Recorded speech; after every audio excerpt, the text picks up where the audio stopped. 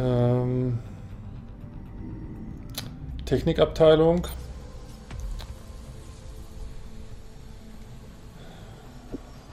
Einrichtung. Das Labor braucht noch ein bisschen und anschließend können wir hier noch weitere Einrichtungen bauen. Das heißt vielleicht sogar noch ein zweites Labor daneben, aber ich warte erstmal, bis dieses hier fertig gebaut ist. Und Gegenstände brauche ich glaube ich auch nichts. Pulsbogen, Medikit, Scope habe ich alles noch. Satellit können wir noch nicht, weil wir auch noch keine Kontrollstation haben. Das heißt, wir können jetzt eigentlich nur wieder äh, in die Einsatzleitung gehen. Aber ich, Lagezentrum will ich noch mehr mit China kontrollieren. Die Methoden von Dr. Wallen sind mit Sicherheit Ach, oh, effektiv. Indien Man sieht China, es hier nicht an, aber sie ist der Albtraum jedes Aliens.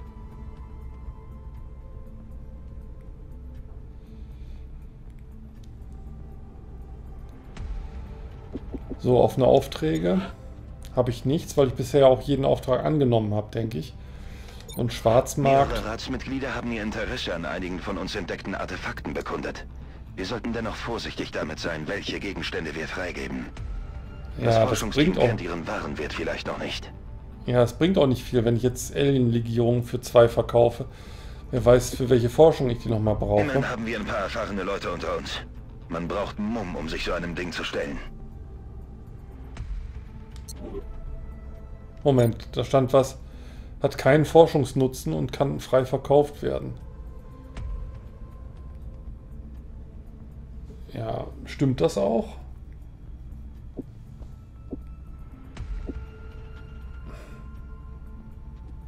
Ja, ich traue mich trotzdem nicht, das zu verkaufen. Tut mir leid. Wenn ich jetzt in arger Geldnot wäre vielleicht, aber so nicht. Gut, also wieder ins Einsatz, in die Einsatzleitung.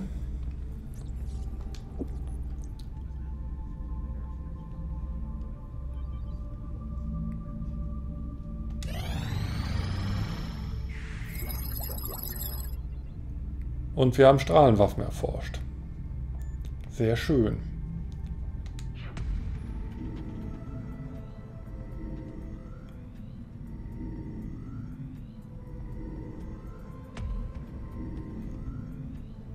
Okay, wir können also Laserpistolen, Lasergewehre herstellen. Mal schön, mal sehen, wie gut die sind.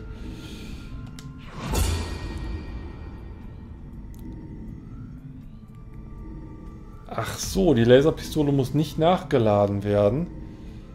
Andererseits schießen wir auch nicht mit der Pistole normalerweise. Höchstens unser äh, Scharfschütze könnte das mal machen, wenn er sich bewegt hat, dann kann er mit der Laserpistole noch schießen.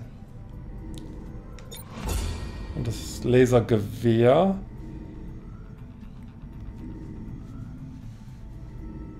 hat eine höhere Feuerkraft gegenüber dem normalen Sturmgewehr. Ja, ist auch nicht schlecht.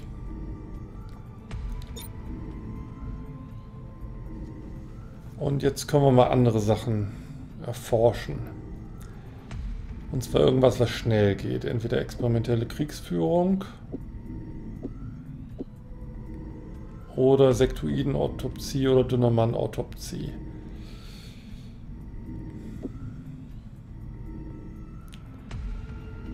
Bin einfach mal neugierig, was die experimentelle Kriegsführung ist.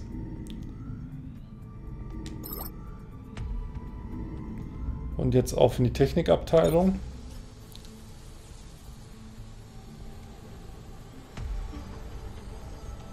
Und dann kaufen wir nichts. Weil, wir, weil uns Ingenieure fehlen. Ach, guck. Ja, ach, wir haben noch nicht mal 10.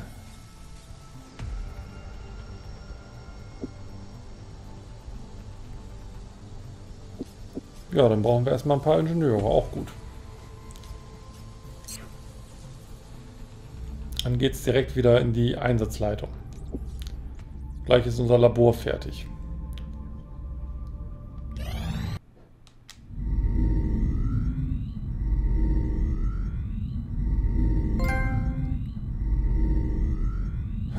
Theorie, ja.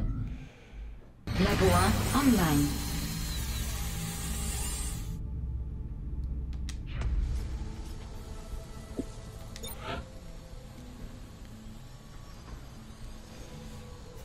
So, wir haben noch vier Energie übrig. Ein Satellitenkontrollzentrum wäre super, braucht aber fünf Energie.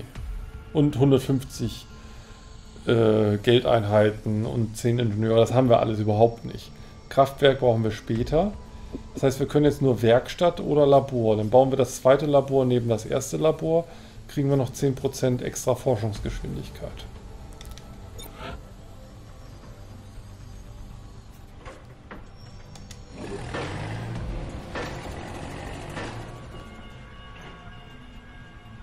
Gut.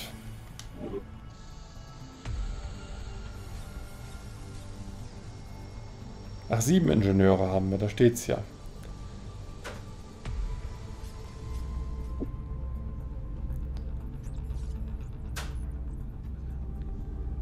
Mal sehen, wie lange die Forschung jetzt dauert.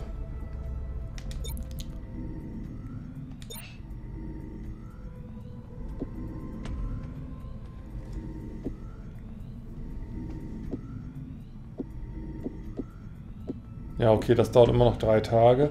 Aber ich glaube, der Präzisionslaser, der hat vorhin noch 12 gekostet und äh, jetzt nur noch 10 Tage. Schalenrüstung hat 10 gekostet, jetzt äh, noch 9.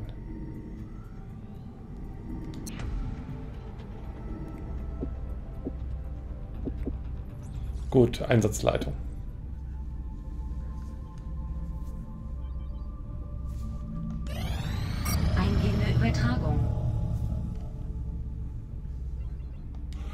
Wir sind vom bisherigen Erfolg des XCOM-Projektes sehr beeindruckt, Commander.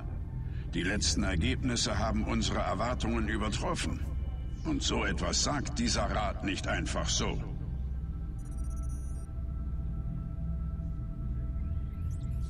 Ja, geil. Wertung A, das ist doch was. Also wenn das nach diesem amerikanischen Schulnotenprinzip geht, gibt es ja Wertung von A bis E. Eventuell noch ein S oben drüber. Also als beste Wertung sind wir mit A doch ganz gut.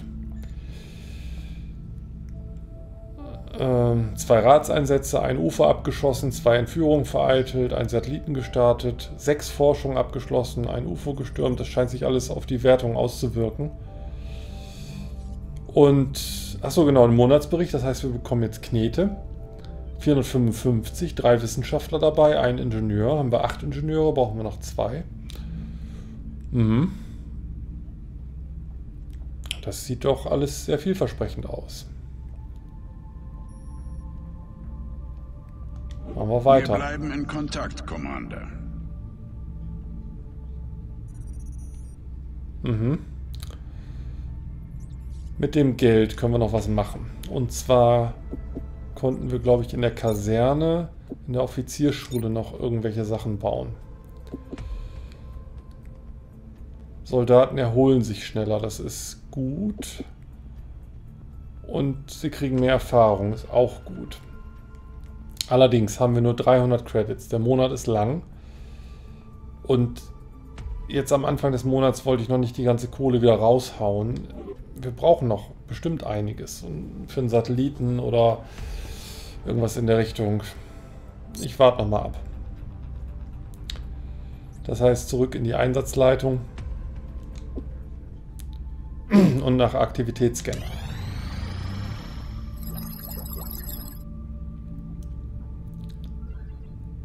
So, was macht denn unsere Experimentalkriegsführung? Wir können jetzt eine Gießerei bauen und eine Phoenix-Kanone.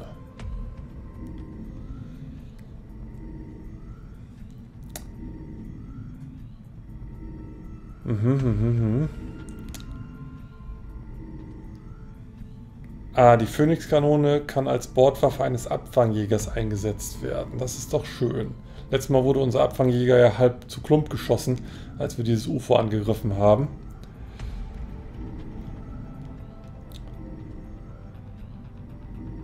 Gut, und wahrscheinlich brauchen wir erst die Gießerei, damit wir dann die Phoenix-Kanone bauen können. Also, dafür schauen mal.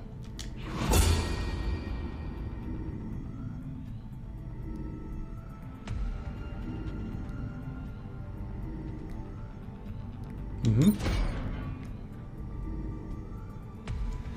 Ach so, nee, ist doch was anderes. Wir können also Gegenstände, die wir schon haben, noch verbessern.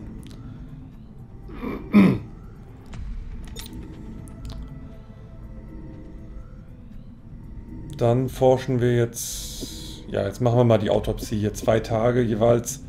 Und das nächste äh, schnellere wäre sieben Tage. Dann in der Zeit haben wir die beiden Sachen schon erforscht. Dann autopsieren wir mal so einen dünnen Mann. Der Große wird inoffiziell als dünner Mann bezeichnet. Erste Tests haben Ja. ergeben, dass die Aliens versucht haben, die genetische Struktur zu verändern, um ihn möglichst menschlich aussehen zu lassen. Bei näherer Betrachtung fällt jedoch auf, dass die Veränderung der Augen, die wie Reptilienaugen aussehen, problematisch Oh. gewesen sein muss. Ich glaube, mein Appetit ist mir gerade vergangen.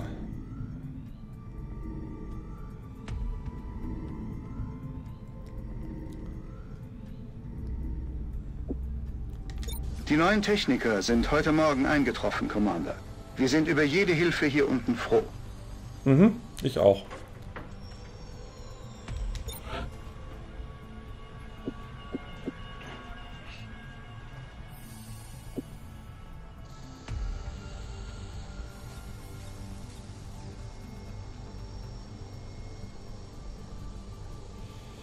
Hm.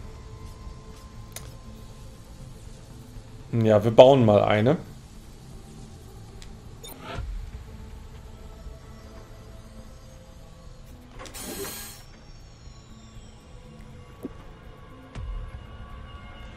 Der kleine Eindruck, den ich von Ihrer Technologie habe, sagt mir, es gäbe nicht viel, das Sie aufhalten könnte, wenn es Ihr Ziel wäre, die Erde einzunehmen.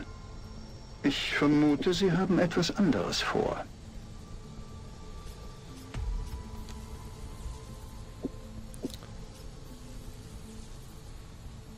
Und jetzt brauchen wir als nächstes Gebäude auf jeden Fall was, was Energie bringt.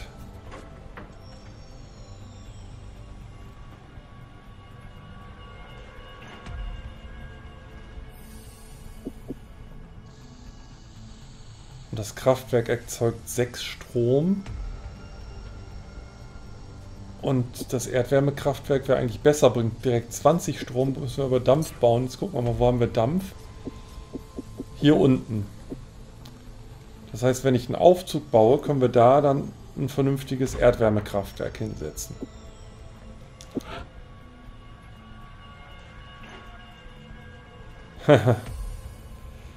okay, dafür fehlt uns ein Energie. Also müssen wir doch erst ein normales Kraftwerk bauen. Hier hinten können wir ja nicht, ne? Ne.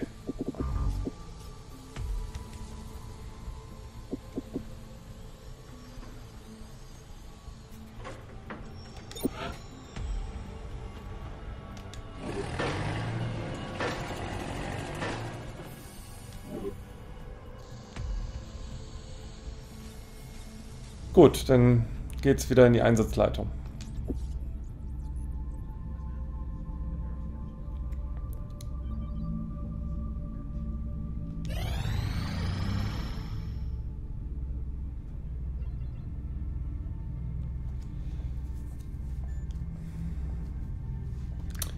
Okay, Ägypten will drei Pulsbogen Bögen von uns haben. Und wir bekommen dafür drei Wissenschaftler. Wir tauschen also Geld gegen Wissenschaftler. Das ist, glaube ich, ganz gut. Wir müssen nur eben zwei Pulsbögen bauen. Das heißt, wir machen das nicht jetzt. Gehen zurück in die Technikabteilung.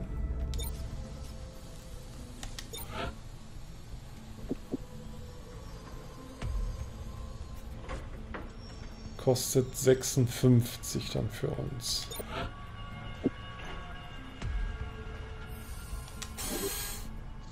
Okay. Und jetzt ins Lagezentrum. Offene Aufträge.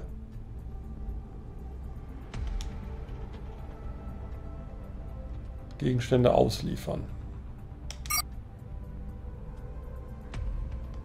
Okay. Mit dem größten Vergnügen. Ja, gern geschehen.